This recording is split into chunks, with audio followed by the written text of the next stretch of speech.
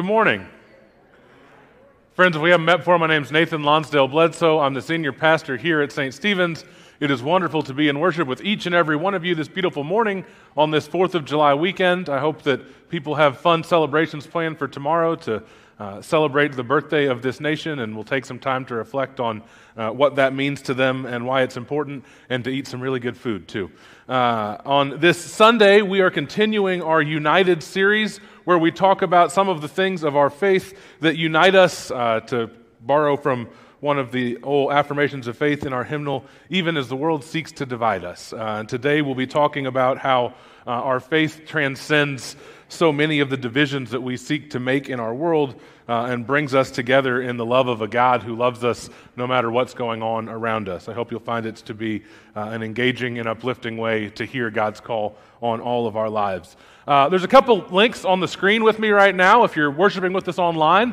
The first one is for you. We believe that worship connects us with God and with each other. We want to celebrate that connection with you this morning. So if you're worshiping digitally, virtually, wherever you might be, uh, follow that link and sign in for us. If you're in person, hopefully you signed in on one of the tablets on your way in. Uh, if you're a visitor with us, that second link there has a link to the visitor sign in. It's also, there are cards in the pew backs that have QR codes where you can fill them out and drop them in the baskets. We celebrate your presence with us. We know there's a lot of things you can do on a Sunday morning, and we're grateful that uh, you are choosing to be here to worship God with us at St. Stephen's, and we'd love to connect with you in that way. That bulletin link also takes you to a digital bulletin. We have a handful of paper ones in the back. And as I say every week, everything you need to participate in worship this morning will be on screen. But if you're like me and you like to read ahead or see the announcements and stuff like that, that digital bulletin has all the info you'd ever want and more. Uh, in just a few minutes, or in just a second, rather, uh, we'll have a prelude. Our acolytes will light the candles. I invite you to take that time and center yourself and prepare for worship. Maybe uh, say a silent prayer, take a few deep breaths Wave to those around you as a way of passing the peace. Send an encouraging note to someone as a way of passing the peace even beyond this space. Let's worship God together.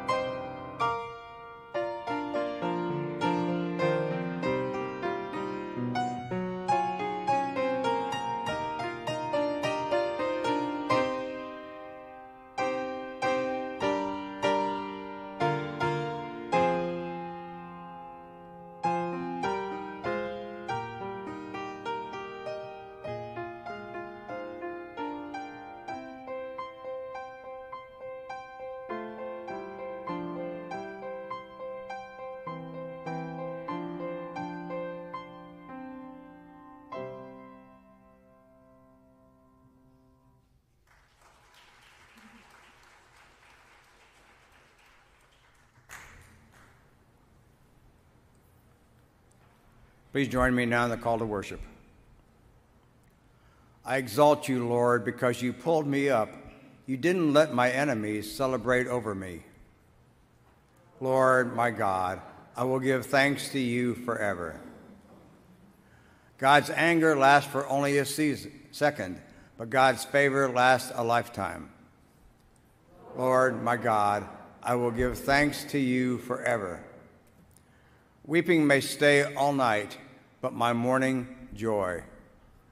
Lord my God, I will give thanks to you forever. You changed my mourning into dancing. You took off my funeral clothes and dressed me up in joy, so that my whole being might sing praises to you and never stop. Lord my God, I will give thanks to you forever. Amen.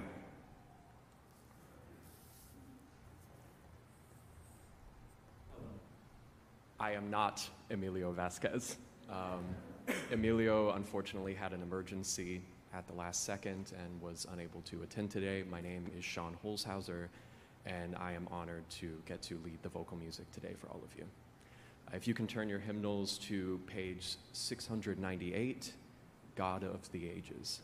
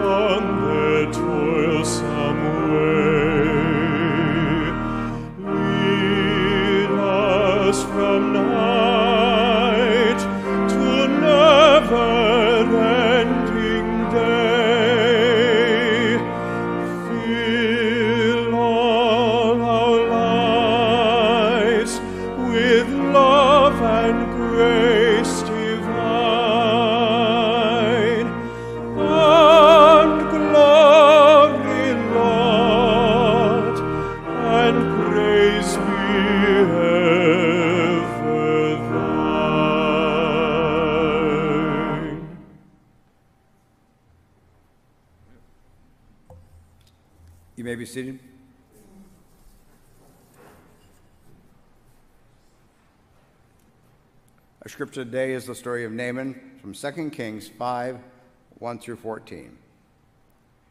Naaman, a general for the king of Aram, was a great man and highly regarded by his master, because through him the Lord had taken victory to Aram. This man was mighty warrior, but he had a skin disease. Now Aramean raiding parties had gone out and captured a young girl from the land of Israel. She served Naaman's wife. She said to her mistress, I wish that my master could come before the prophet who lives in Samaria. He would cure him of his skin disease. So Naaman went and told his master what the young girl from the land of Israel had said. Then Aram's king said, Go ahead, I will send a letter to Israel's king. So Naaman left. He took along kit, two kikkars of silver, 6,000 shekels of gold, and ten changes of clothing. He brought the letter to Israel's king, and it read Along with this letter, I'm sending you my servant Naaman, so you can cure him of his skin disease. When the king of Israel read the letter, he ripped his clothes. He said, What? Am I a God to hand out death and life? But this king writes me, asking me to cure someone of his skin disease. You must realize that he wants to start a fight with me. When Elisha, the man of God, heard what Israel's king had ripped his clothes, he sent word to the king Why did you rip your clothes? Let the man come to me. Then he'll know that there is a prophet in Israel. Naaman arrived with his horses and chariots. He stopped at the door of Elisha's house. Elisha sent out a messenger who said, Go and wash seven times in the Jordan River then your skin will be restored and become clean. But Naaman went away in anger. He said, I thought for sure he'd come out, stand and call the name of the Lord his God, wave his hand over the bad spot, and cure the skin disease. Aren't the rivers in Damascus, the Abana, and the Pharpar better than all of Israel's waters? Couldn't I just wash in them and get clean? So he turned away and proceeded to leave in anger. Naaman's servants came to him and spoke to him Our father, if the prophet had told you to do something difficult, wouldn't you have done it? All he said to you was, Wash and become clean. So Naaman went down and bathed in the Jordan River seven times, just as the man of God had said. His skin was restored like that of a young boy, and he became clean.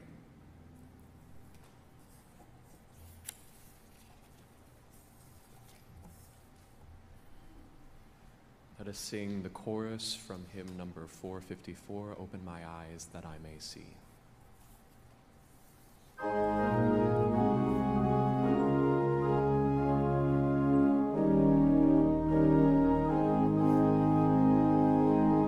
Silently now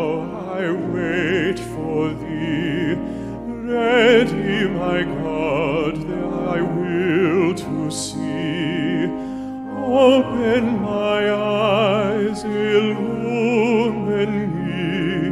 me, Spirit divine.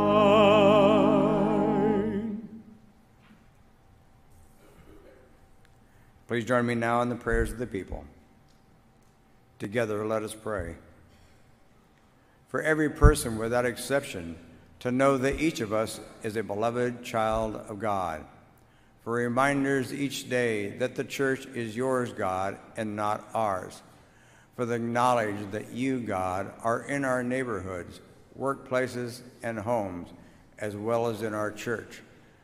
For the privilege of worshiping you, God, and how it connects us all for the stories from Scripture that transform our own stories, bringing hope, peace, joy, love, and light.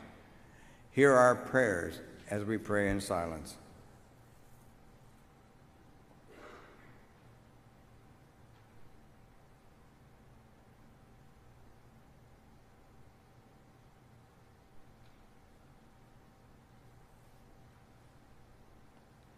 And now we pray together the prayer Jesus taught us, each the way we first learned it, saying, Our Father, who art in heaven, hallowed be thy name.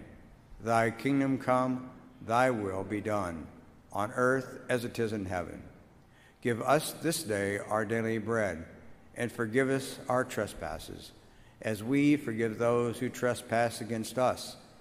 And lead us not into temptation, but deliver us from evil. For thine is the kingdom, and the power, and the glory forever. Amen.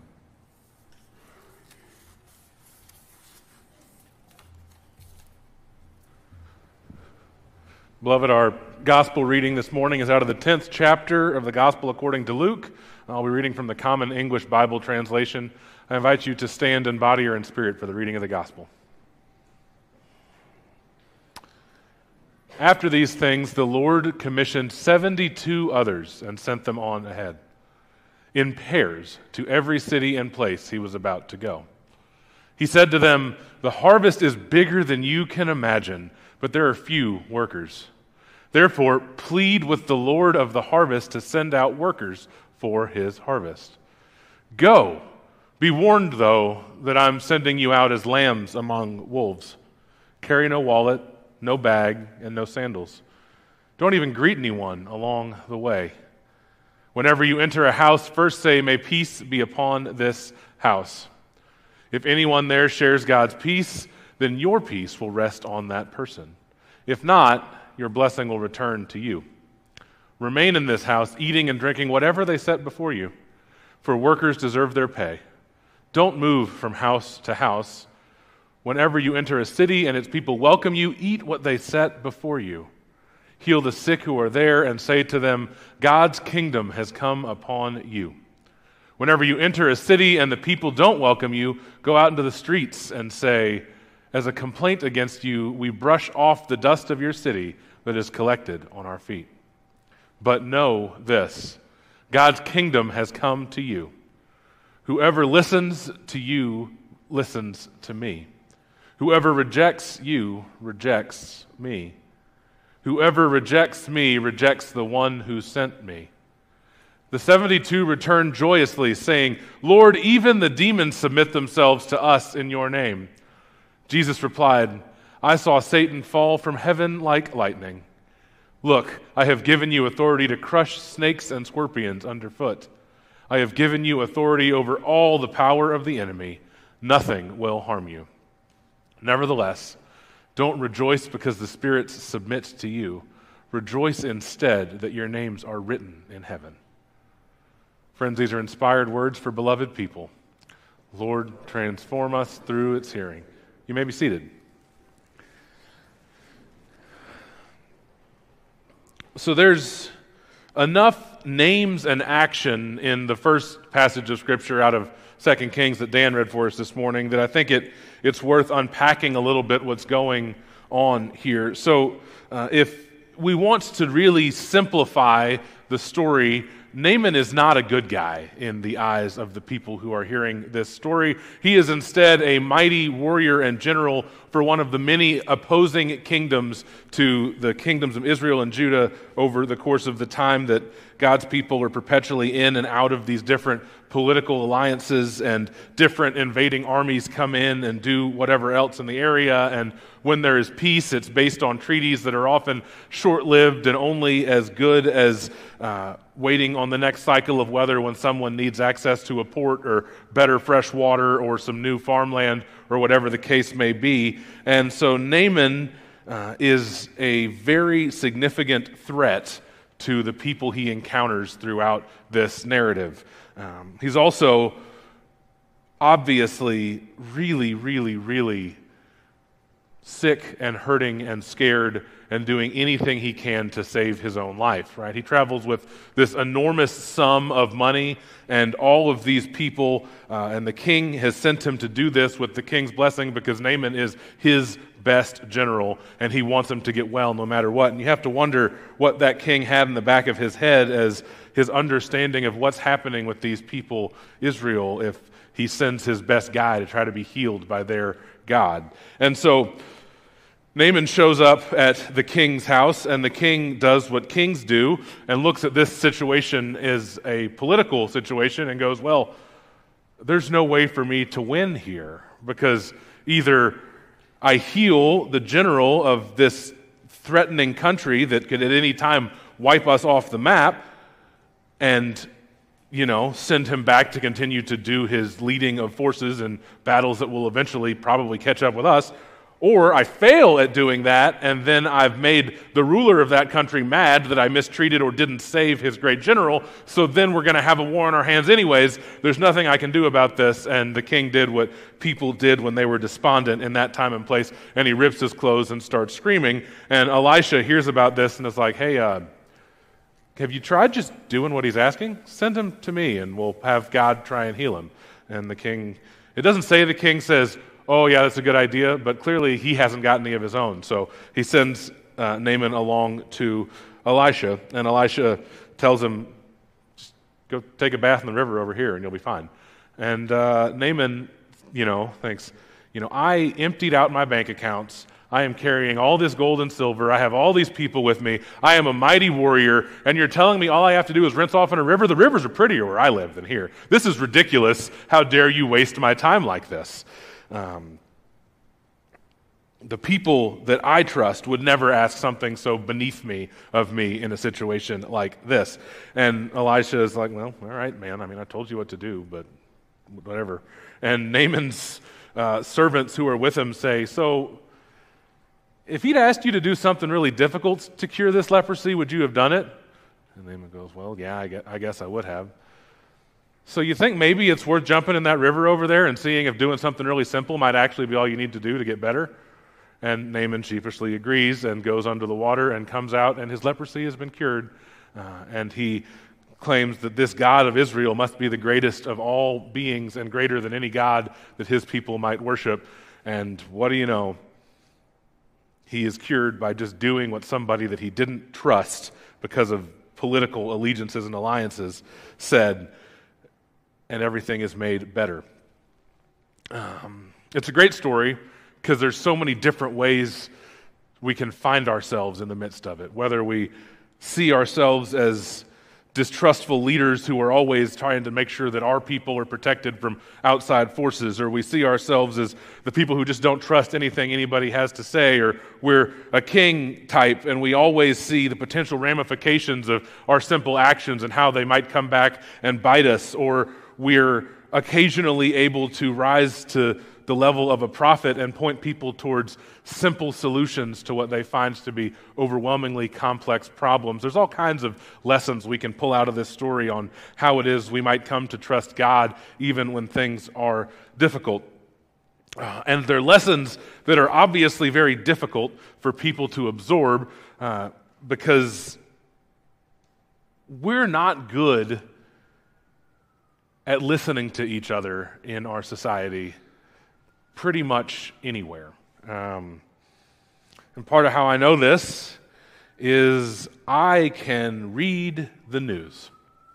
Um, and I feel like in the last 10 days or so, um, independent of whether um, your personal beliefs and views have been upheld and expanded or shot down by the Supreme Court and other political actions in our society, we have seen people make no attempts to make meaningful connection or talk to anybody who doesn't already agree with their perspective as we see how we try and move through everything in front of us and people are not behaving well. And I think, um, and I'll get to the second scripture passage and the good news in this in a minute the root of this um, stems from the fact that for most of us, in how we live our lives, we are much more loyal to a political ideology or a worldview or a group that we find ourselves to be a part of than we are to God and we are to each other. Um, and so our mo- meaning and decisions are made for us before difficult questions, and we never stop to think about stuff. And these are questions that are big and complicated issues to talk about and think about. And um, we're so certain that there's a simple, easy answer to everything, but it might surprise some of you to know uh, that deeply faithful Christians have disagreed about when life might begin as long as human beings have had any ability to control when life might begin. Uh, and that even two groups of religious people much older than the Methodist Church, the Roman Catholic Church, and uh, our Jewish siblings in the faith, have read the same Old Testament and come to polar opposite understandings of how we ought to consider uh, human life's beginning, whether it happens at some time before birth or at birth itself. And so, all of this is complicated and nuanced and requires deep and meaningful conversations, but that's not how we get clicks on websites or easy votes in our political system. So instead, we're always pushed, you got to believe exactly this or exactly this, and there's no room for anybody to have any nuance, and you join that team and you cheer for that team, and that's how we're going to make these decisions. Um, I'd encourage you to look up what the beliefs of the United Methodist Church are about uh, access to women's health care and reproductive care. Uh, you might be surprised that regardless of your perspective, some of it makes you go, yeah, that's exactly what I believe, and some of it makes you go, huh, I haven't thought about that that way. Anyhow, and we're also a nation deeply divided on how we consider what it is to be a responsible gun owner and what rules we ought to have about that. And that showed up. And it's just everything is so entrenched in us that our team believes this, so we believe this, or our team believes this, that, that we can't even talk to each other anymore. And I say that a lot in here. But it, I say it a lot in here because uh, it brings me a lot of hope, having been here for this is the start of my sixth year here at St. Stephen's, uh, to know enough of you well enough to know that this room of people never agrees about anything. Uh, that there are people on every side of every major, significant cultural and political and social issue who sit in these pews and love Jesus with all their hearts and want desperately to be a church. And that is the call of the gospel. Uh, that it's not to hear a preacher that I always agree with or to go to a church that exactly matches this, this, and this that I believe, but to be in community with people who want their lives to be lives connected to loving Jesus and loving their neighbors and to work on the other stuff together, even when we don't agree about it. And part of how I know this church is so good about this is because I wasn't here for 10 days recently. Uh, let me explain a little bit. So, um, some of you who have been coming for a while know that just over a year ago, uh, Sarah and I went to the UK to visit her grandmother who had a terminal cancer diagnosis. Uh, and I can admit to you, I think and keep composure, that at the end of that trip, while Sarah and her grandmother were sitting together at the dinner table as we were about to leave for the airport, I could not keep it together uh, because I knew what our next trip back to the UK would be. And it's the trip we just took, uh, where we celebrated her grandmother's life and got to spread her ashes in this beautiful place where her family uh, has been spreading uh, the ashes of loved ones for many, many years. And it was a wonderful trip, and we saw family, and we celebrated Angela's life, and we celebrated her sister's 80th birthday delayed because of the pandemic, and that was one of those things that was beautiful and sweet and bittersweet because uh, Angela and her sister Adria had plans to share that celebration of 80th birthdays together, but uh, because of Angela's passing and the pandemic, that never happened. Uh, and so we're coordinating all of these schedules of people in the UK and people over here. And um, Sarah's sister has three small children, two of whom are in school. And so figuring out dates that might work. And we throw around a dozen different possible times to go. And the one time that works runs through the first half of Vacation Bible School here. And I'm like, well, I feel like I should be at Vacation Bible School, but I certainly can't miss something this significant for my family. And I felt sick to my stomach about the idea because I have an overinflated sense of importance and thought, how could a church possibly have a successful vacation Bible school without the senior pastor being there to help with stuff? Uh, what will they do when they have to answer questions on their own? Um, and the answer is throw what most of the families who have been coming for years called the best vacation Bible school we've had in a long, long time. Um, so I, I got back Wednesday of the week and was able to be here on Thursday and Friday during the day, be at the Thursday family celebration where we had great turnout from the folks who drug, the kids who drugged their parents in here to sing the songs with them and then go down the hall and meet all of the wonderful people in the Bible village and their classrooms and stuff and celebrate all of that. And, and you know, Stephen, of course, did a great job organizing everyone. We had so many wonderful volunteers, many of them church members, many of them community members that just love our vacation Bible school.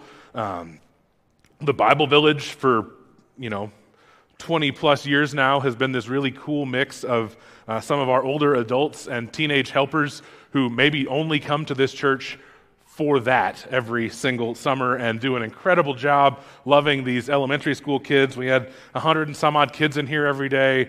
It was just awesome.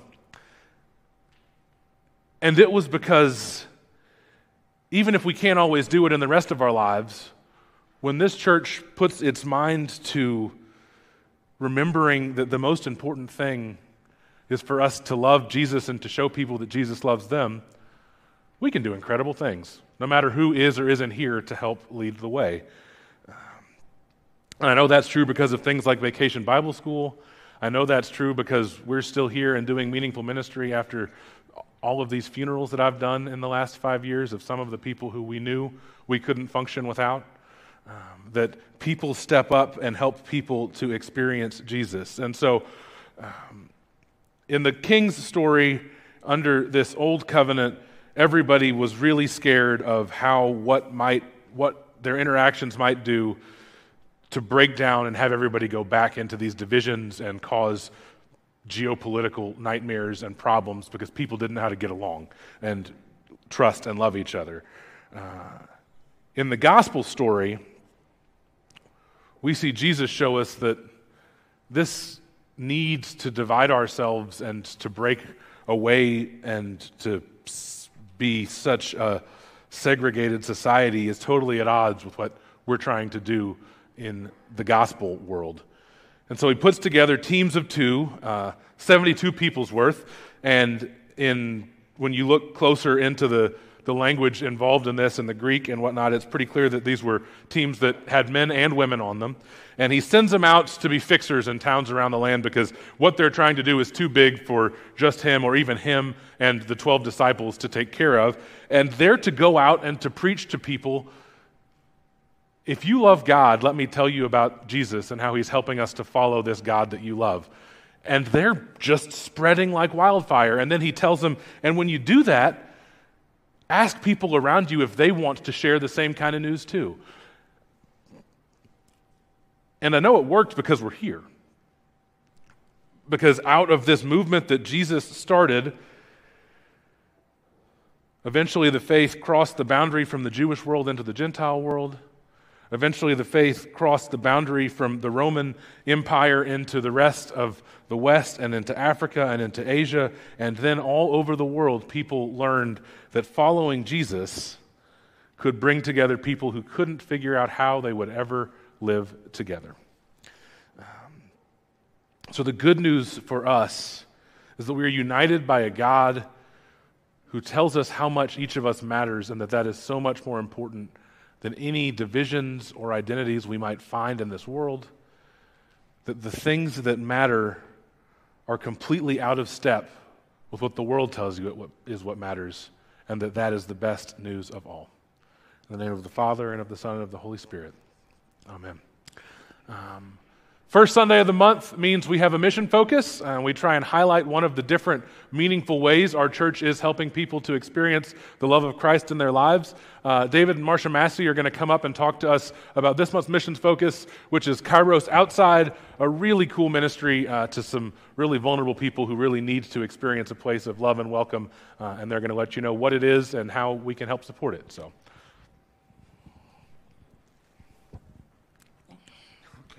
Thank you, Pastor. We appreciate the chance to present this to the church. A couple of symbols. I'm, I am into symbols, you may have noticed. A couple of symbols I'd like to point out. We each wear crosses around our neck.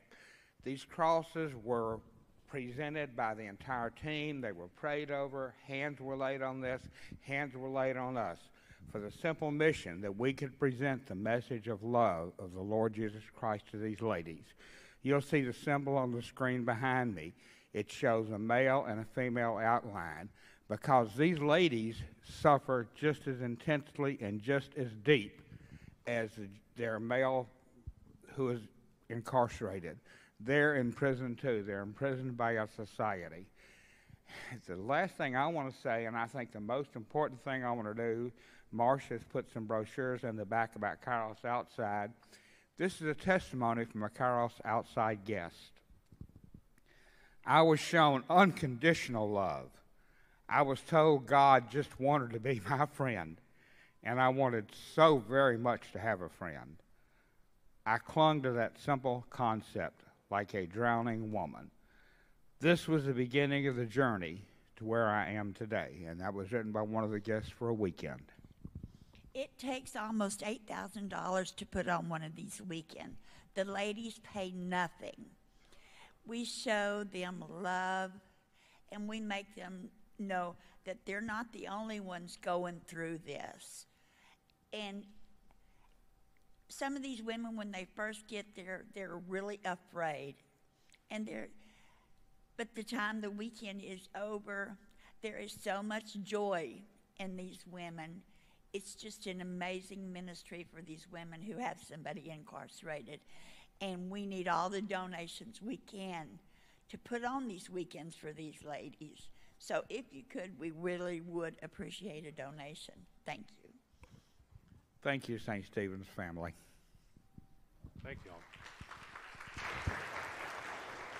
So, to anything you mark communion this month uh, will help support the ministry of Kairos Outside, which, uh, as David and, and Marcia just shared, uh, supports the families of incarcerated people through uh, a weekend retreat where they're reminded that there are people that love and support them uh, as they deal with the, you know, the social pressures and condemnation with trying to be single parents with all of the things that come uh, with a family separated by incarceration. It's really a wonderful ministry. And if I think that later this month there will be a, a bake sale to also raise some funds to help support Kairos outside. So be on the lookout for a way to uh, buy really delicious baked goods in support of a good cause. Uh, I'm thankful to pastor a church that loves its neighbors well, that seeks ways to connect people with God's love, uh, even people that uh, the world is so good at shutting out of God's love, or of their love at least. Um, as you uh, celebrate uh, during this offertory music, I invite you to give and to give generously in support of our church.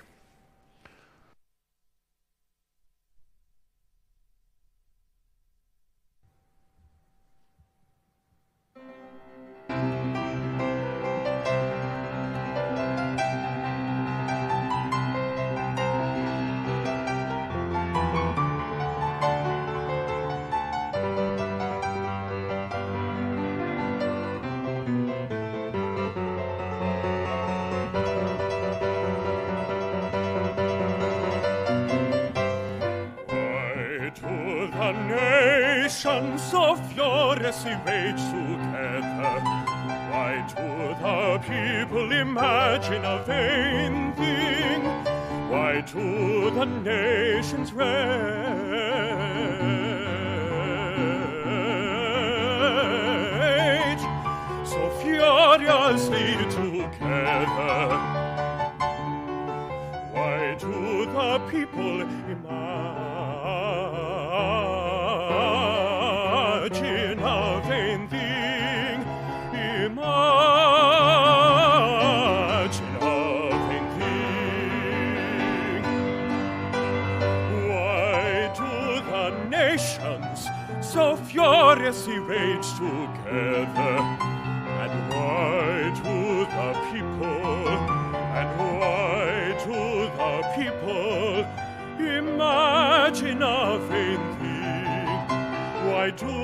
the nations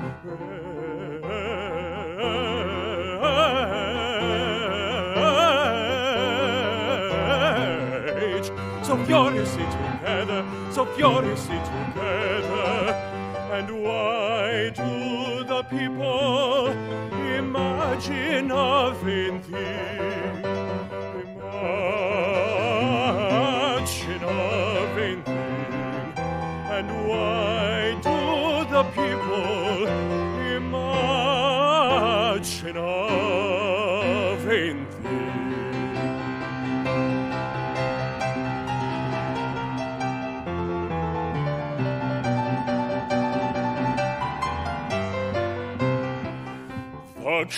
Kings of the earth rise up, and the rulers take counsel together. Take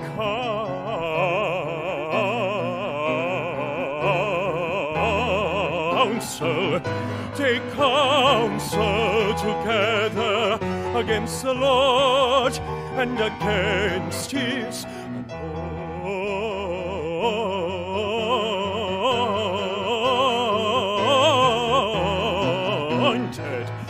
against the Lord and his anointed.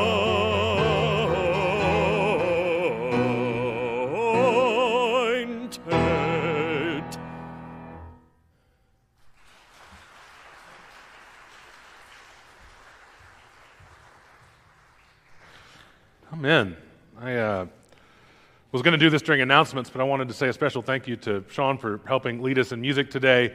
Uh, it's just been wonderful, and we'll hear more later. But and also to uh, Dr. Andrea Moots for perpetually using her wonderful connections in the Houston music community to bless us with such wonderful music. So, with a last minute change in singers, this is what a wonderful service we get. So, thank you to both of you for a great day.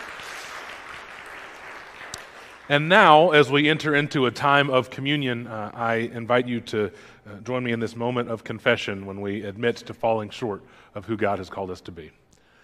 Christ our Lord invites to his table all who love him, who earnestly repent of their sin and seek to live in peace with one another. Therefore, let us confess our sin before God and one another. Merciful God, we confess that we have not loved you with our whole heart. We have failed to be an obedient church. We have not done your will. We have broken your law. We have rebelled against your love. We have not loved our neighbors, and we have not heard the cry of the needy. Forgive us, we pray. Free us for joyful obedience. Through Jesus Christ our Lord. Amen.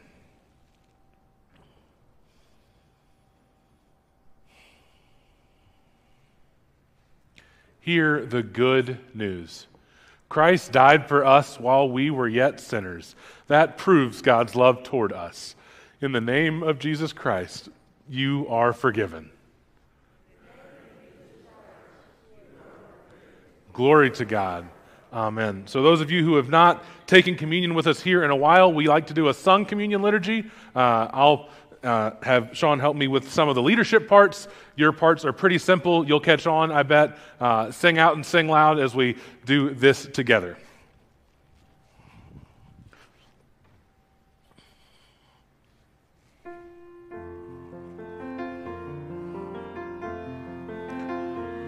The Lord be with you.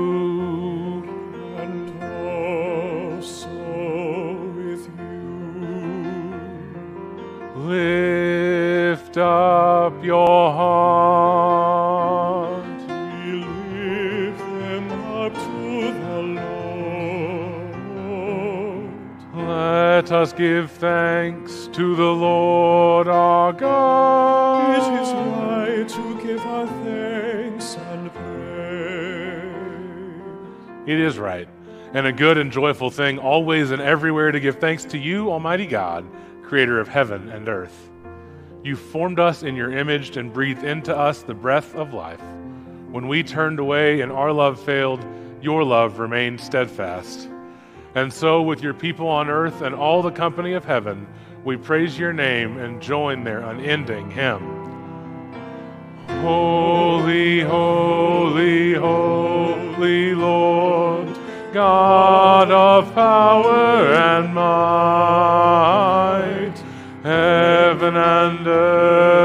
full of your glory. Hosanna in the highest, Hosanna in the highest, Hosanna in the highest. Blessed is the one who comes in the name of the Lord. Highest, Hosanna in the highest, Hosanna in the highest. Holy are you, and blessed is your Son, Jesus Christ. By the baptism of his suffering, death, and resurrection, you gave birth to your church, delivered us from a slavery to sin and death, and made with us a new covenant by water and the Spirit. On the night in which he gave himself up for us, he took bread, gave thanks to you, broke the bread, gave it to his disciples, and said, Take, eat. This is my body, which is given for you. Do this in remembrance of me. When the supper was over, he took the cup, gave thanks to you, gave it to his disciples, and said, Drink from this, all of you. This is my blood of the new covenant, poured out for you and for many for the forgiveness of sins. Do this as often as you drink it in remembrance of me. And so, in remembrance of these your mighty acts in Jesus Christ, we offer ourselves in praise and thanksgiving as a holy and living sacrifice in union with Christ's offering for us as we proclaim the mystery of faith. Christ has died, Christ is risen, Christ will come again. Hosanna in the highest, Hosanna in the highest, Hosanna in the highest. Pour out your Holy Spirit on all of us gathered here and on these gifts of bread and wine. Make them be for us the body and blood of Christ, that we may be for the world the body of Christ, redeemed by his blood. By your Spirit, make us one with Christ, one with each other, and one in ministry to all the world, until Christ comes in final victory and we feast at his heavenly banquet. Through your Son, Jesus Christ, with the Holy Spirit and your holy church, all honor and glory is yours, Almighty God, now and forever. Amen. Amen. Amen.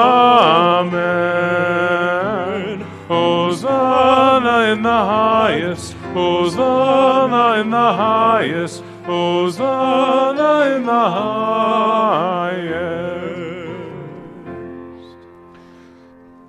Amen.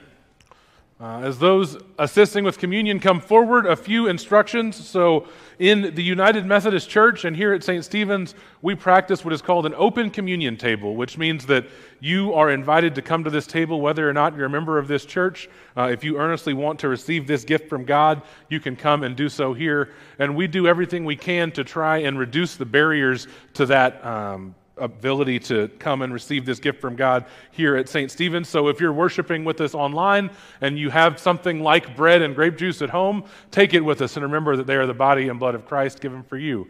Uh, if you have uh, gluten allergies or aren't ready to come through a line and share bread and a cup with folks in this age of increased awareness about germs, we have these little cups here uh, that are pre filled and sealed. The wafer is gluten free uh, and it's grape juice and a wafer. Our ushers also have those for folks that can't move up. If you wants to grab one of these, you can take communion that way. Or as they release you by row, you can come and receive uh, the bread and the cup, or even if you want just the bread uh, from one of our servers. We have our servers wear masks uh, just as a way to ensure that everyone who wants to come up feels comfortable doing that. We've got hand sanitizer we'll give to folks that need that. Uh, again, we really do want to do everything we can to practice an open communion table where everyone feels welcome to come and receive. So, in just a second, we're going to serve our servers and have them come down, uh, and the table is ready. So, come at the usher's instruction.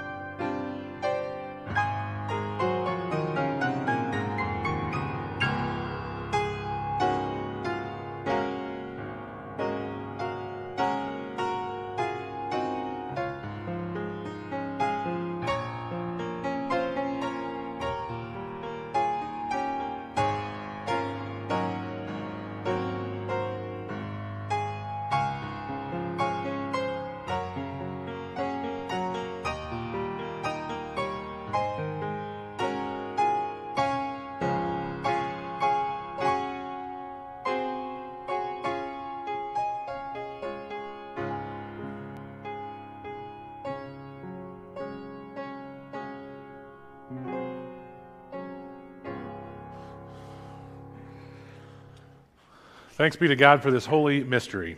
Uh, as I mentioned earlier in the service, this week was Vacation Bible School here, uh, and our first announcement as we prepare to conclude our service is actually a video celebration of what all happened around here over the last week.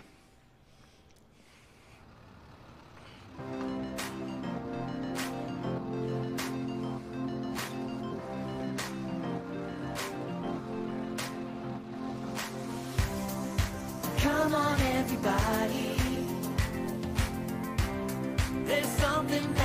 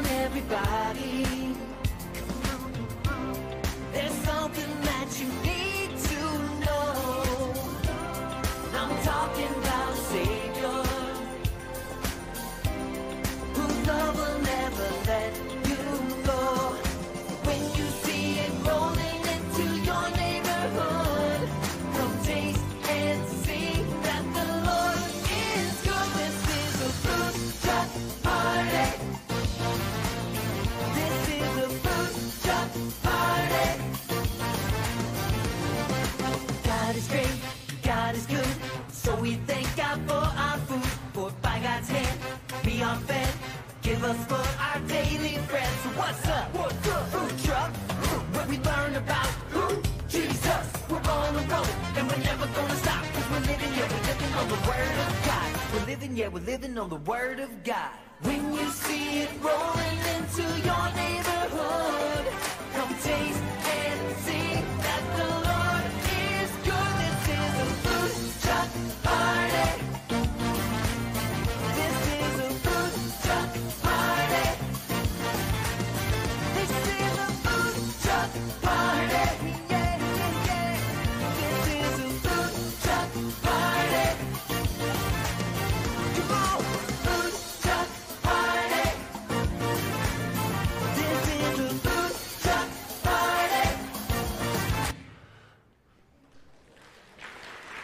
Yeah, so as you can tell, no one had any fun at all uh, last week. Uh, it was really a wonderful experience for so many folks. Uh, my only other announcements are uh, we're continuing to accept donations for our UM Army trip that's coming up. Uh, so next Sunday, I will be in worship in Crockett because I'm directing our camp, so I'll be there to say hi to those people who are letting us take over their building for the week.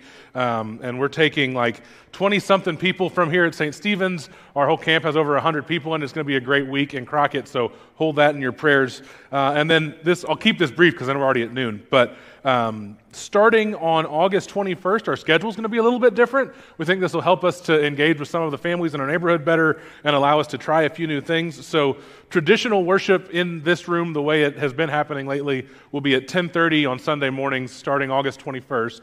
Uh, and that'll give us a leg up on getting to the best brunch and lunch places ahead of the crowds, which nobody's sad about. Uh, those of you who are sports fans will never have to miss the first pitch or kickoff, and you can come and stay through the whole church service. So all that should be really good. Uh, and also, starting that August 21st is a preview, and then going forward on second Sundays through the fall, we're going to try a family worship experience uh, in the fellowship hall at 9:15. That'll be uh, so we'll serve community breakfast on those Sundays. We'll have a couple of elements for Messy Church around the edges of the room to incorporate some contemporary music, a real informal and friendly service that uh, is totally welcoming to all different age and sorts of worshipers uh, and hope that that'll really be good. There's a sign up page online now if you want to help us get that off the ground. We're looking for people to help make breakfast, for people to help greet, and all of those things. So, uh, talk to me more if you're interested in learning about that service starting this fall.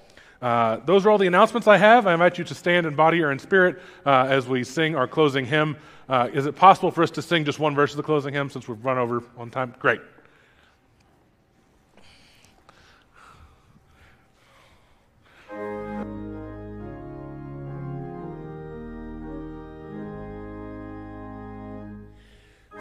faith of our fathers living still, in spite of dungeon, fire, and sword. Oh, how our hearts beat high with joy whenever we hear that glorious word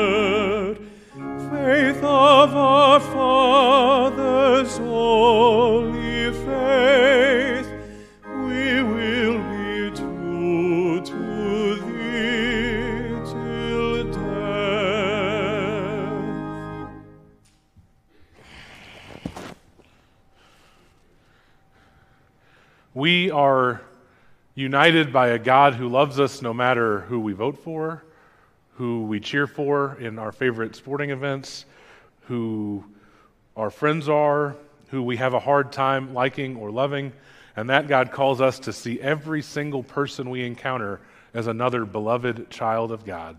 So as you go from this place, I invite you to do what you can to see everyone as someone God loves as much as God loves you, even the people who drive you nuts. As you go from this place, let's try and do that. Amen.